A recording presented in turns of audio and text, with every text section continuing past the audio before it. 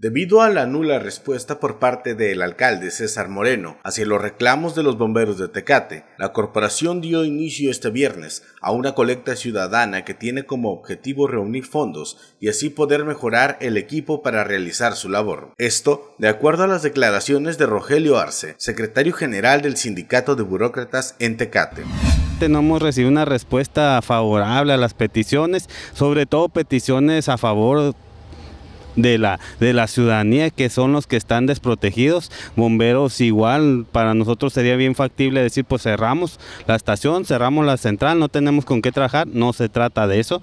Vamos a seguir trabajando con lo poco que tenemos, pero se requiere atención, se requiere respuestas inmediatas. Esa es la parte donde el personal con la preocupación que traemos en, en relación a las necesidades que actualmente existen, nos vemos en la necesidad de buscar otros por otros medios el poder proporcionar el equipo herramienta que sea necesaria ¿no? para, para servir. Bien de la, de la comunidad buscar la compra ya sea eh, teniendo el monto ya sea de una unidad o de la herramienta más necesaria eh, eh, para poder atender una emergencia.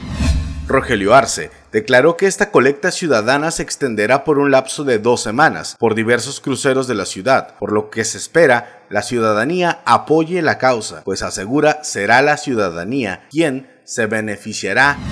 Pretendemos empezar el día de hoy y que finalice el día 26. Serían prácticamente dos semanas. Vamos a procurar estar todo el día en diferentes puntos. Nos vamos, hay gente que está muy interesada en apoyar, por parte de los estudiantes de la universidad, un acercamiento, traen el interés de ayudarnos, parte los voluntarios, bomberos voluntarios, bomberos lista raya, bomberos de base. Nos vamos a coordinar para procurar estar todo el día en, en diferentes puntos de la ciudad, ¿no?